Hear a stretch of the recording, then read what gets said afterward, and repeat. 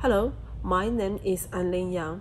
I am the East Asian Studies Librarian specialized in Chinese and Korean materials at Memorial Library, UW Madison. In our previous video, we talked about the history of an ancient Chinese book, Jiannan Shichao, and the reading order of the ancient Chinese books. For this time, I will look at the inner cover of the first volume of this set. Let's see how much information we could know from this single page.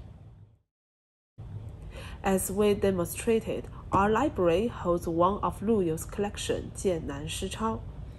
When we open the first volume of this set, from right to left, we could find the inner cover on the right side. Sometimes we could regard the inner cover as a title page in our modern books. From here, we could find out the publishing date, publisher, title, etc. Okay, in the middle of this page, it is the title of the book, 剑南诗抄. On the top of the inner cover, we could see the characters 康熙乙丑新镌. That is the publishing date information. 康熙遗宠 is the year of 1685. The 新卷 means new publishing so we could find out the book was published in 1685. Please note, according to the relevant rules, ancient Chinese books published before 1795 are forbidden to export out of China. We collected this set at a very early age, and so we are able to keep it luckily. But we will not have any opportunity to collect ancient Chinese books before 1795, except for domestic donation nowadays. We'll come back to the inner cover. On the right side is written Wu Jin Yang Tianzhi Shouxue. So here, Wu Jin is an area of located in Jiangsu.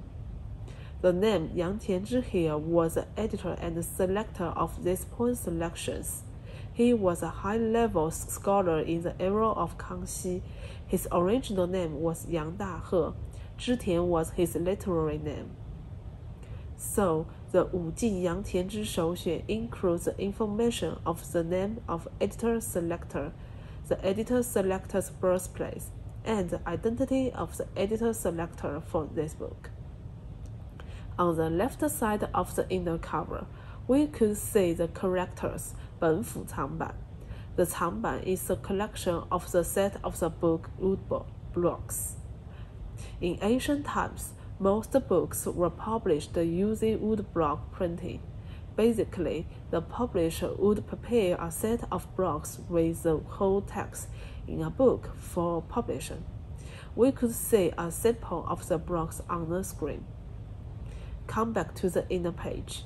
The meaning of Benfu could be regarded as an official publication, so the Benfu Changban means official edition.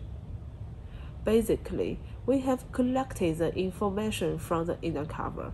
What is the title of, it, of this poem selection? Who edited and selected this poem collection? When the poem selection published? And some edition information. In the next video, I will share with you some assumptions from a stamp in this book. So see you next time.